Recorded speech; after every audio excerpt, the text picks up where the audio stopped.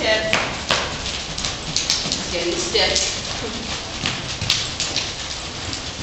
Now bump again.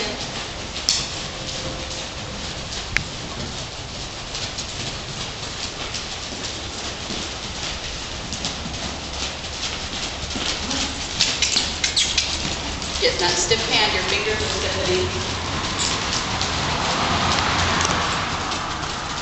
Open and close your fingers. Make it work.